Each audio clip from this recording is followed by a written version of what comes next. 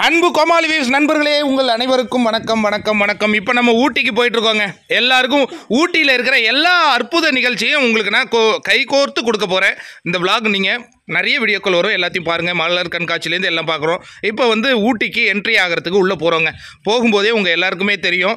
அந்த மாதிரி அந்த மலைகளே நமக்கு ஒரு மிகப்பெரிய பிரமிப்பை ஏற்படுத்துது.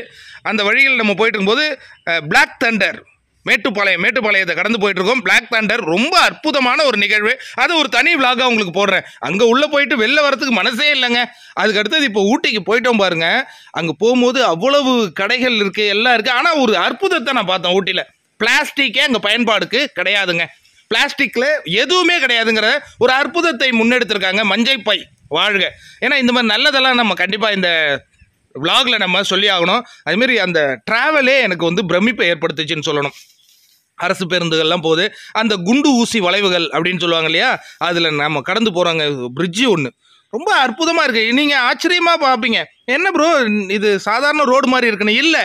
அந்த குண்டு ஊசி வளைவுகளை அந்த நம்ம காரில் கடந்து போகும்போது ஏற்படுற ஒரு மகிழ்ச்சி இருக்கு இல்லையா? அது ரொம்ப அற்புதமாக இருக்குது ஊட்டிக்கு எத்தனை பேரெல்லாம் போயிருக்கீங்க? சரி இதில் எவ்வளோ பட்ஜெட் ஆகுது? அதெல்லாம் நீங்கள் கேட்பீங்க இது வந்து ஒரு பீக் சீசனுங்க உங்களுக்கு வந்து நிறைய ரூம்கள்லாம் இல்லை. காரணம் வந்து முதல்வரே நேரடியாக வந்து மலர் கண்காட்சியெல்லாம் திறந்து வச்சதுனால. அதர்வைஸ் நீங்கள் ஊட்டிக்கு போகணுன்னா நிறைய லாஜஸ் இருக்குது நிறைய என்னது? வீடு வீடுகள்லாம் த கட்டி தொங்க வி- க கட்டி விட்டுருக்காங்கங்க. அதுலேயே நீங்கள் போய் தங்கிக்கலாம். எங்களுக்கு கூட ஒரு வீடு தான் கிடச்சிதுன்னு வச்சிங்களேன். One day two day rent அந்த மாதிரி கொடுக்குறாங்க.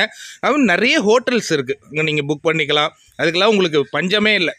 அதே மாதிரி இந்த இடத்த போகும்போது கடந்து போகும்போது எங்களுக்கு மான்கள் அதே மாதிரி யானைகள் இதையெல்லாம் நாங்கள் பார்க்கும்போது பிரமித்து போனோம். அதுவும் யானைகள்லாம் நடந்து போகுது பாருங்கள் உங்களுக்காக அதை நான் பிரத்யேகமாக படம் பிடிக்க பார்த்தேன்.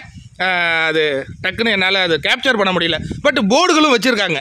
நம்ம அந்த இடத்துல கரெக்டாக இதுவாகிடணும் என்னது இந்த இடத்துல யானைகள் வரும் அப்படிங்கிறத நம்ம புரிஞ்சுக்கணும் போல இருக்குது நான் ஊட்டிக்கு முதல் முறையாக போகிறதுனால என்னால் கரெக்டாக அதை கேப்சர் பண்ண முடியல. இல்லைன்னா அந்த யானைகளை உங்களுக்கு காட்டிடுவேன் மலைகளின் அரசி அப்படின்னு சொல்கிறாங்க இல்லையா?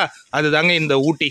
இந்த மலைகளை பார்க்கும்போதே உங்களுக்கு ஒரு பிரமிப்பு ஏற்படுத்தும். அதே மாதிரி ஒரு நல்ல வெயில் அடிக்குது ஆனால் உடம்புல சிலு சிலு சிலு சிலுன்னு காற்று வீசுகிறதை பார்க்க முடியுது. உங்களுக்காக க்ளோஸ்அப் வைக்கிறேன் பாருங்கள் ரொம்ப அற்புதமான ஒரு நிகழ்வு. இப்போ இந்த விளாகில் வந்து நம்ம என்ன பார்த்துட்டு இருக்கோம்னா ஊட்டியோடைய என்ட்ரன்ஸ் தான் பார்த்துட்டு இருக்கீங்க. அடுத்தது நீங்கள் பெரிதும் எதிர்பார்க்கும் மலர் கண்காட்சி. அடுத்த வீடியோவில் வருங்க. நன்றி.